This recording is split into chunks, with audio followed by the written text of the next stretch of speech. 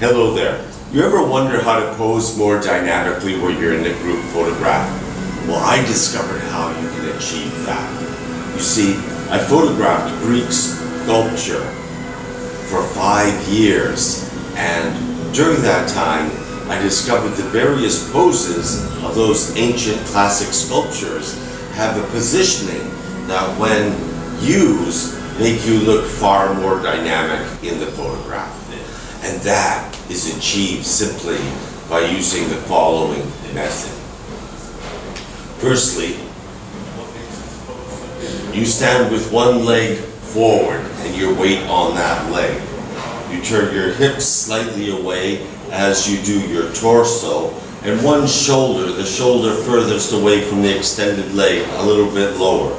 Your hands in two different positions. It's this pose that much more that influx makes you dynamic. One foot forward with your weight on that foot, hips turned away, shoulders, one shoulder down a little bit, hands in two positions.